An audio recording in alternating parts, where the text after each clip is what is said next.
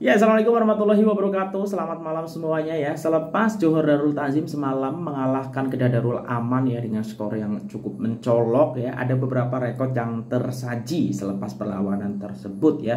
Baik itu JDT ataupun player dari Johor Darul Tazim ya.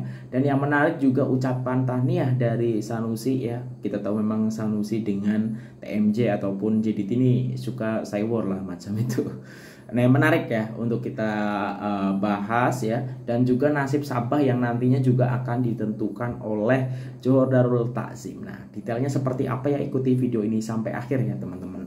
Ya baiklah teman-teman, uh, kita tahu semalam JDT walaupun sempat ke masukan terlebih dahulu kecolongan jaringan ya daripada uh, Ronald Ngah ya, tapi akhirnya skor berkesudahan uh, 1-4 untuk Eh, JDT yang mana JDT kembali memantapkan dari 21 perlawanan belum pernah kalah ya 16 kali menang 5 kali seri ya luar biasa dan Kedah ini mena makin menambah uh, apa ya catatan buruk musim ini. Yang menarik adalah ucapan tahniah ya dari Sanusi ya. Ini didahkan dari cakapsukan.com. Sanusi ucapannya pada JDT ya Presiden Persatuan Bola Sepak Kedah KFA Datuk Seri Muhammad Sanusi MD Nur mengucapkan tanya kepada Johor Darul Tazim atas kejayaan mengatasi Kedah Darul Aman 4-1 di Stadium Sultan Ibrahim pada malam Selasa ya.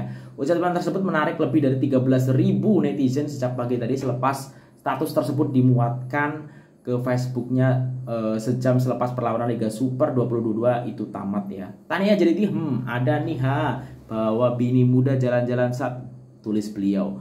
Menteri Besar itu juga meninggalkan tagline baru di ruangan komen status tersebut selepas diminta oleh netizen dan penyokong bola sepak tanah air. Ramai minta tagline, oke tagline malam ini nak nakal lagu mana pun jangan lupa sholat, like and share. Tulis Muhammad Sanusi yang kemudian menjadi dapat reaksi 3 ribuan like ya dari netizen. Ini menarik ya uh, uh, ucapan tahniah dari Bapak Sanusi ini. Nah selanjutnya uh, ini soal apa yang berlaku selepas perlawanan uh, semalam ya. Di mana JDT ini mencetakkan rekor ya JDT break klub Super League goal rekor rekor ya 58 jaringan ya. JDT pecahkan rekor klub untuk jaringan gol Liga Super 58 yang dijaringkan oleh klub bola sepak Johor Darul Tazim dalam Liga Super Malaysia 2022 merupakan rekor baru klub ya JDT mempunyai satu lagi perlawanan bagi melengkapkan musim ini Rekor sebelumnya adalah 56 gol pada musim 2016 luaskan kuasa Johor. Jadi ini adalah catatan terbaik ya. Eh, selain memang tidak sampai kalah, ini juga secara jaringan ini uh, melebihi yang sebelumnya itu 56 dan masih ada satu perlawanan lagi ya untuk penuntasan nanti yang nanti juga akan menentukan nasib dari klub lainnya ya. Kemudian Baxen pecahkan dua rekor terbanyak all time JDT dan gol Liga Super terbanyak dalam satu musim ya. Uh, di sini yang pertama adalah 67 gol JDT all time uh, top scorer ya. Jadi Baxen da Silva ini menjadi pencetak jaringan terbanyak ya. Ini berarti sepanjang masa yang dimiliki oleh Johor Darul Takzim. Kemudian 27 gol Malaysia Super League most goals in single season ya. Jadi dalam satu musim torehan 27 jaringan uh, Baxen da Silva ini sudah yang terbanyak sepanjang sejarah ya. Baxen da Silva kini merupakan penjaring terbanyak all time klub bola sepak Johor Darul Azim selepas dua gol hasil jaringan beliau ketika menentang Kedah menjadikan jumlah keseluruhan adalah 67 gol dalam semua pertandingan untuk klub rekor terdahulu dipegang oleh Gonzalo Cabrera dengan 66 gol. Beksen juga memecahkan rekor gol Liga Super Malaysia terbanyak dalam satu musim selepas menjaringkan gol Liga ke-26 dan 27 tahun ini dan dalam perlawanan tersebut ia mengatasi rekor sebelum ini yaitu 26 gol luaskan kuasa Jawa. 26 gol itu kalau tak salah Ivedayo ya, kalau aku tak silap gitu. Nah, jadi selain JDT yang mencetak rekor, uh, da Silva juga mencetak rekor. Nah ini yang menarik, apakah Bekson da Silva akan diperpanjang? Nah kita tunggu hal-hal ini menarik ya nanti selepas musim uh, berakhir. Nah selanjutnya untuk uh, tanggal 15 Oktober 2022 ya ini menarik ya karena beberapa jam yang lalu JDT sudah memposting untuk uh, tiket perlawanan terakhir ya sekaligus untuk uh, celebras celebration ya untuk juara yang ke-9 beruntun. Nah, ternyata setelah beberapa jam diposting uh, diumumkan bahwa ini di dari caption official Jor sambutan kejuaraan JDT 2022 dan perlawanan terakhir liga pada 15 Oktober tiket telah habis dijual jumpa Anda keluarga JDT ya tiket untuk sambutan rekod kejuaraan luar biasa Liga Super Malaysia ke-9 uh, triple hat trick yang akan menyusul selepas perlawanan Sepak Jordal Tazim dan Sabah FC pada 15 Oktober 2022 telah habis dijual ya. Jumpa pada Sabtu ini keluarga jadi luaskan kuasamu Johor ya. Nah, semoga juga bisa tengok perlawanan terus. Nah, ini menarik ya.